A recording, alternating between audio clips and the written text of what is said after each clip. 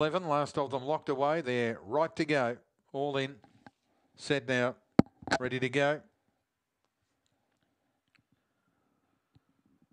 Racing. Moonlight Storm slow to go. Ulner began well near the inside rails, going to boot up and be the early leader with Nimble Fantasy and Breakwall going up near the rail. Moonlight Storm in a bit of trouble then. a Hatchet to Harry, who knows Chloe. Ulner burst clear up to the turn, clear to Breakwall and Nimble Fantasy. Well back Moonlight Storm. They turn though and Ulner kick clear. Raced five or six in front. It's not for catching today. Ulner dashes away to win brilliantly by seven lengths on the post. Moonlight Storm and Breakwall and a head bobber second and third. And they finished well clear of the rest, headed back there by Hatchet to Harry. Harry, uh, Nimble Fantasy, and who knows Chloe, and the run there 22 26.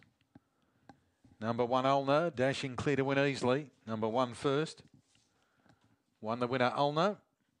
Took full advantage of box one, and she and the finishers won comfortably. 870, 22 26 or thereabouts the run. One first, Ulner.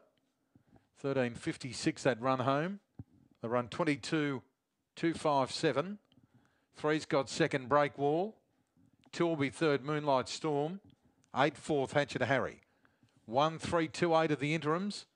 They're in the frame now. One three two eight the interim numbers. Six lengths by nose. Six by nose. One three two eight